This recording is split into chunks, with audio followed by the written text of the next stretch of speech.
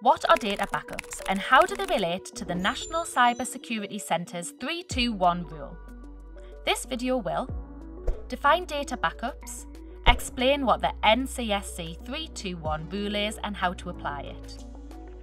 Backing up data refers to copying council data, such as files and programs, from where it is mainly stored to one or more secondary locations.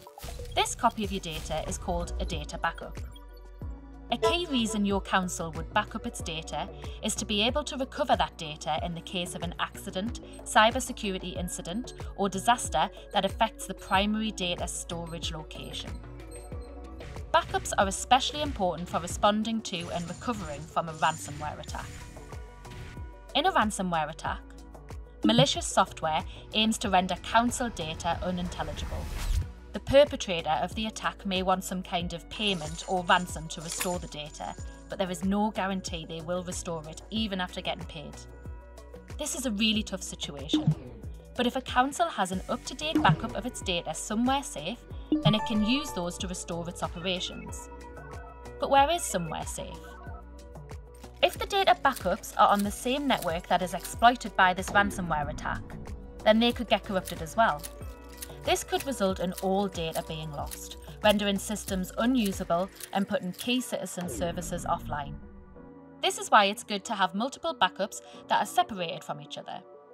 The National Cyber Security Centre, or NCSC, has developed the 321 rule as a rule of thumb for storing multiple backups.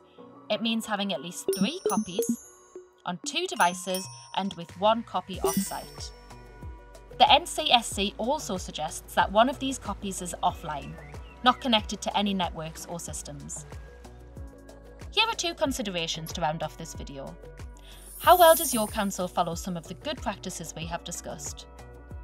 It is essential to systematically test out the process of restoring your backups. The results of these tests can inform your council's subsequent backup processes. This video is part of a series designed to expand your understanding of digital, technology and cybersecurity concepts. To learn more about the terms we covered, please watch our other videos.